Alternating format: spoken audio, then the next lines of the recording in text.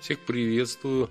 Продолжаем рассматривать работы художников, знакомиться с их биографией. Джулия Маргарет Камерон.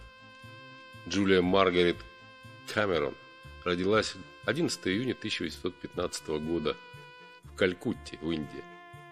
Британский фотограф, считающийся одним из самых выдающихся портретистов XIX века. Она известна своими снимками крупным планом знаменитых мужчин и женщин викторианской эпохи с мягким фокусом, иллюстративным изображением персонажей мифологии, крестьянства и литературы, а также трогательными портретами мужчин, женщин и детей. Утвердившись сначала среди англо-индийского высшего класса Калькутты, а затем среди культурной элиты Лондона, Кэмерон открыла свой собственный салон, посещаемый выдающимися викторианцами в приморской деревне Фрешуэршот, острова Уайт. Проявляя живой интерес к фотографии в течение многих лет, Кэмерон начала заниматься фотографией в относительно позднем возрасте, 48 лет, после того, как ей дочь подарила фотоаппарат.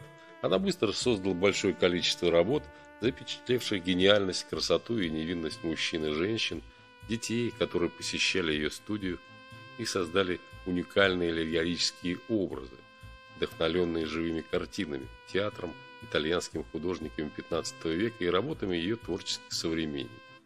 Ее карьера фотографа была короткой, но продуктивной.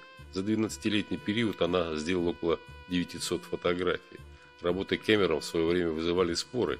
Критики высмеивали ее мягко сфокусированные и неочищенные образы и считали ее иллюстративные фотографии любительскими и хамоватыми.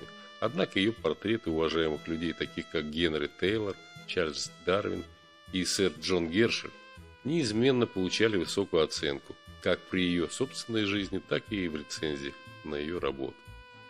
Ее образы были написаны как необычайно мощные и полностью оригинальные, и приписывают создание первых крупных планов в истории медиумизма.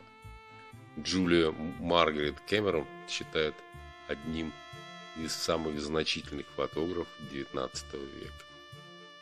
В 2019 году Кэмерон была включена в Международный зал славы и музей фотографии.